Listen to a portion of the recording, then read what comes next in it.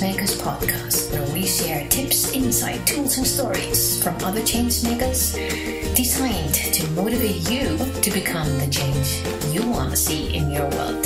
Make sure you join our Changemakers community at runamagnus.com forward slash podcast. And now it is time for you to sit back, relax, and enjoy. Oh la la! Another Changemakers podcast interview that I'm going to share with you today with Kisha Mays, the successful serial entrepreneur, visionary, a global business development strategist, angel investor, philanthropist, and so much more. Her primary focus is on helping to develop more successful multi million dollar global female owned businesses through her international company, Just Fearless. She always pays it forward by supporting nonprofits worldwide that specifically support and empower women and girls. I've known Kisha for some years, and I know that she's she and her team they have partnered with everything from Fortune 500s like Pepsi to global businesses like Virgin to startups and variety of industry for global business development strategies and international campaigns. She has been featured in the Business Insider, New York Times, Wall Street Journal, Fast Company, and Forbes, just to name a few. She released her best selling book, From Failure to Fearless, still completely flawed but thriving fearlessly. I just love that title.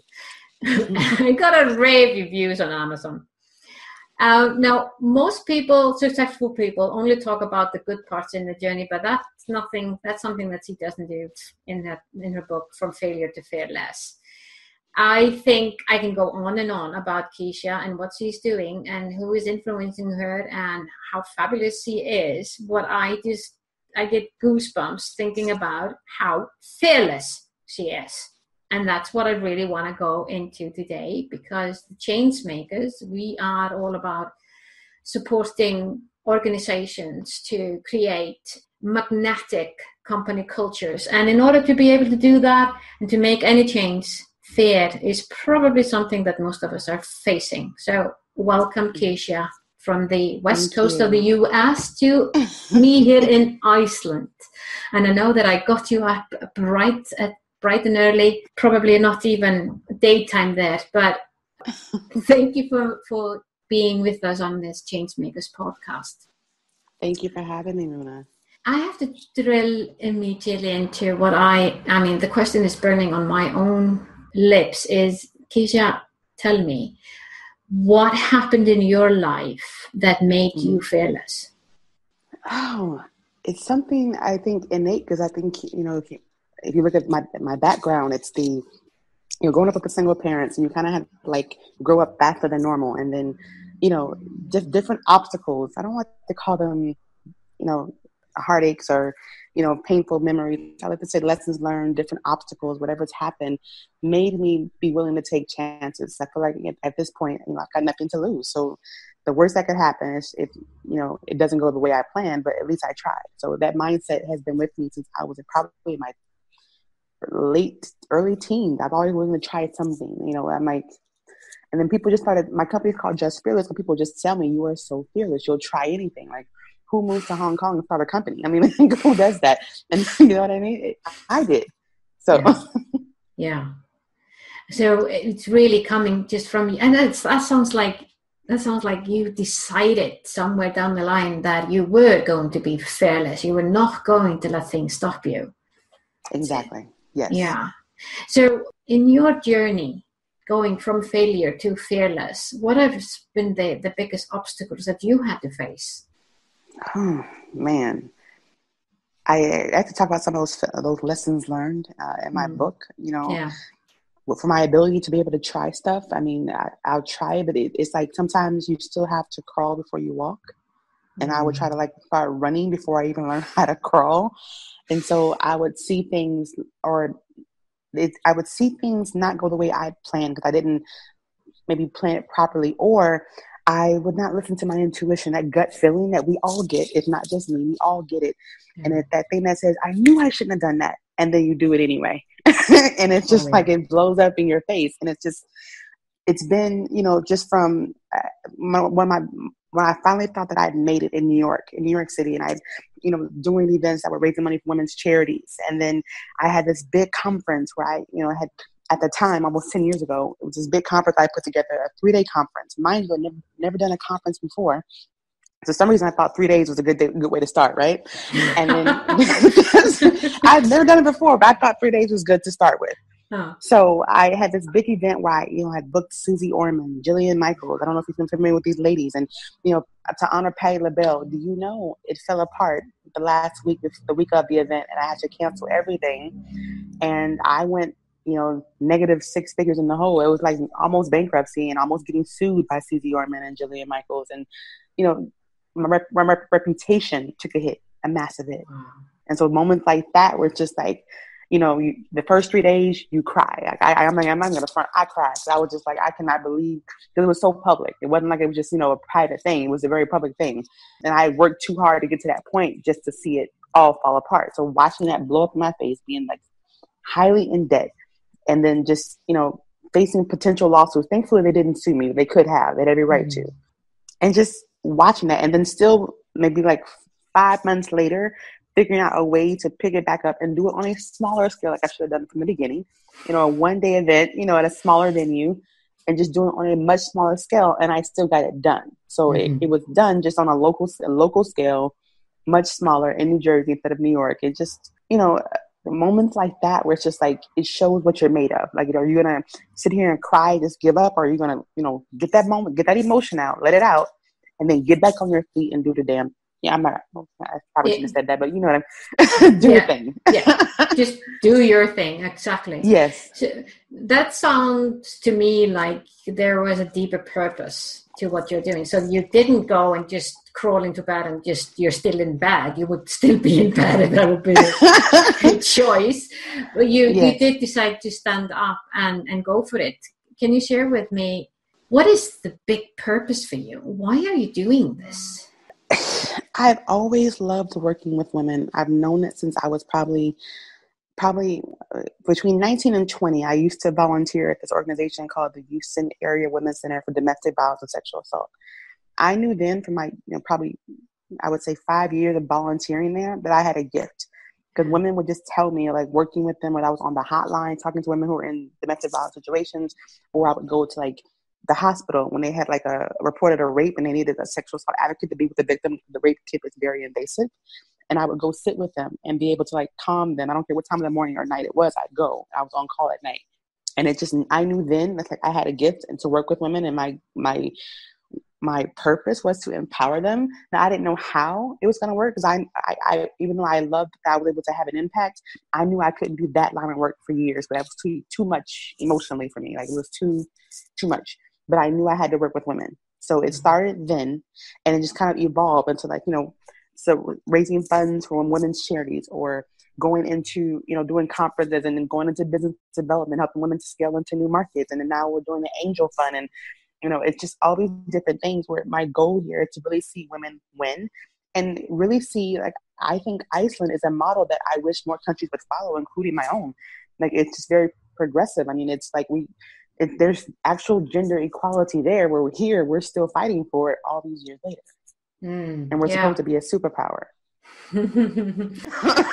but you bring out the superpower with from the within, don't you? Yes, I mean, I think we all have that Wonder Woman in us. Like, I love that, mm. that movie, but I think we all have that. I think it's just really tapping into it. Like, you know, again, taking a chance on yourself. At the bottom line, no one's going to believe in you the way you believe in yourself. So I, I don't depend on anybody else to believe in me or give me a pat on the back.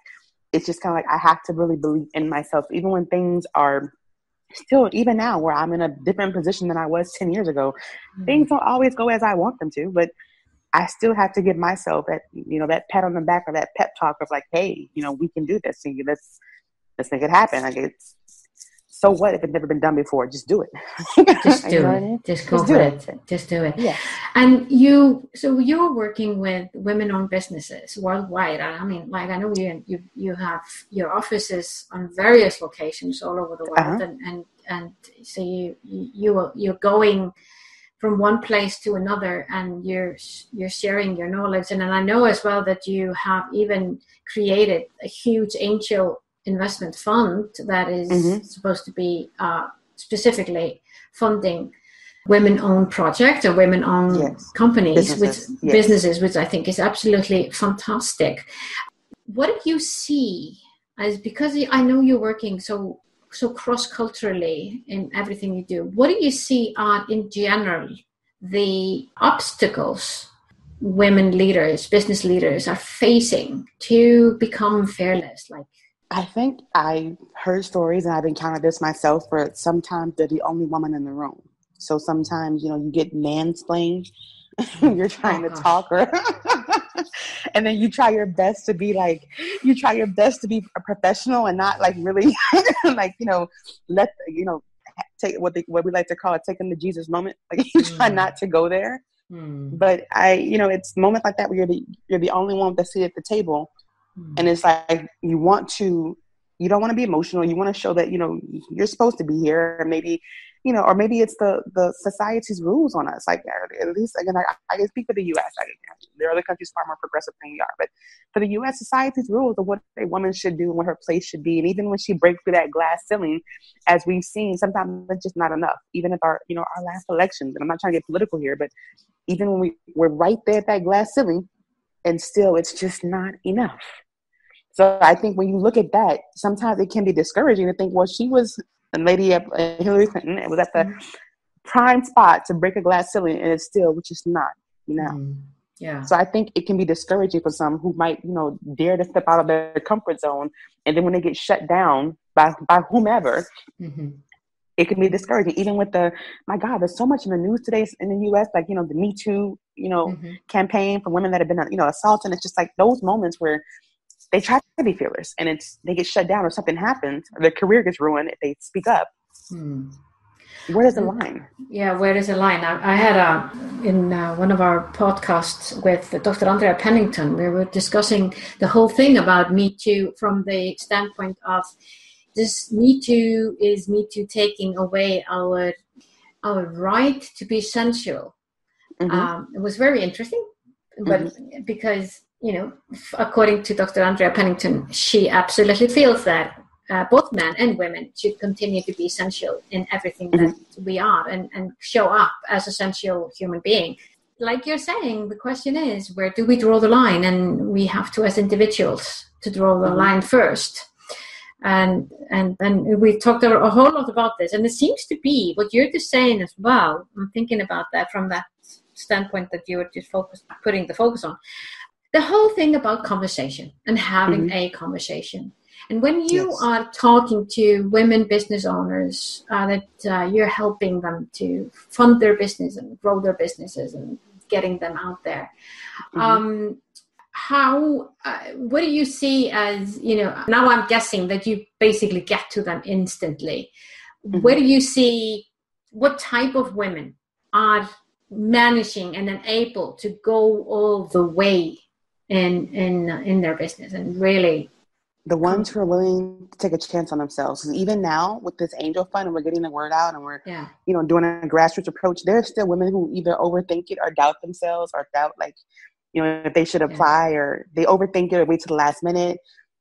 Take a chance on yourself. Like no one else is going to do this but you- I mean, people might open a door for you, but it's only because you took a chance on yourself that they open that door for you. So I feel like be willing to. Like, I mean, it's so cliche, but step out of your comfort zone. Like, that's really what it boils down to. If there's an opportunity before you, don't do the self doubt talk. You know, take a chance. What have you got to lose? Worst they could say is no. Okay, well, we're not the only angel fund. We say no, we're not the only one. You know, mm. and we're not the only. There are others that are geared towards women. They're not the only one. So it's like, take a chance. Like, don't overthink it. Just, just do it. I mean, I, I live by that at this point. Like, just do it. Just do it i love Yes. that i think from that and just one final question because i know you are on the move Mhm. for you kisha where do you want to see yourself five years from now Oh, my God. She's putting it out there. Oh my God. Do I dare tell? I never really say like what the what my ultimate dreams are. But Uh, this is your opportunity to put it out there in the cosmos darling five years from now. So we're at Mm. 2018 pretty much. So Mm. that'll be 2023 or 2020, 2023, if not Yeah. 22, something like that. Anyhow, Yeah. I did my goal. One is 1 million uh, funded entrepreneurs generating at least 1 million in revenue by December 31st, 2025. That's slightly past Yeah. five years. So that's important. Two, two things is for just Fearless to become what Virgin is to the world. Virgin is like, you know, this massive company. Oh, I like that. Yeah, it's in different in every industry, you know, Virgin Records, Virgin Mobile, Virgin Airlines. They're all over. I want Just Fearless to be similar to that, where it's a known brand around the world. So those two things are what I'm working toward, and that will also help me to fund. I'm not saying I have to self fund these one million women, but I'm starting off with my own funds to set up a track record.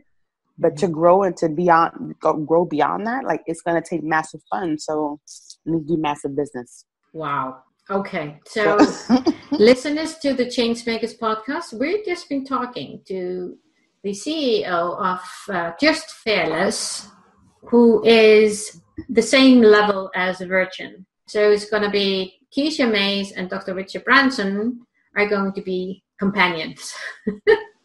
right? Absolutely. Absolutely. Yes. yes. Okay. I'm I'm envisioning this with you, Kisha, and I know our audience will do that too. I like bold people who are willing to make the change that they want to see in their world so that their Yes. dreams can come true. So Kisha, from that note, thank you so much for being part Thank you for having me. Uh, we are with you on this one. Thank It's a- you. It's bless bless from me in Iceland. Until next time, we have another episode of the Changemakers podcast.